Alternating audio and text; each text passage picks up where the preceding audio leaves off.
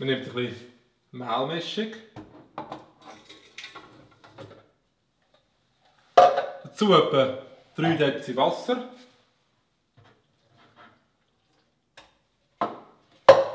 Deckel drauf. Richtige Menü. Und los geht's. So, jetzt werden wir mal schauen, was daraus geworden ist.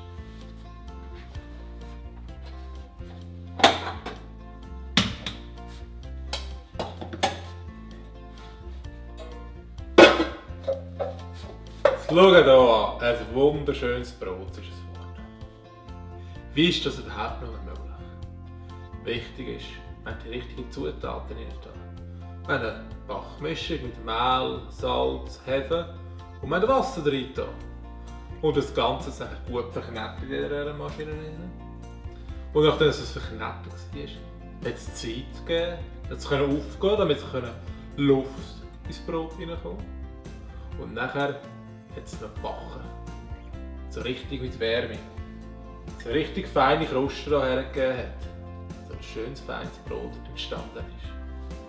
Ich bin überzeugt, Christ werden hat auch viel mit so einem Brot zu wie so ein Brot kann entstehen Am Anfang braucht es auch verschiedene Zutaten. Es braucht einen Mensch, es braucht eine Sehnsucht nach einem Sinn vom Leben, es braucht einen Heiligen Geist. Und zusammenkommt gut verknetet wird das Ganze.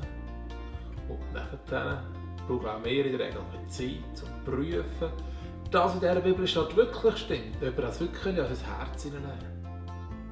Nachdem wir die Zeit hatten und das wirklich an unserem Herz hatten, brauchen wir vor allem viel Wärme vom Vater.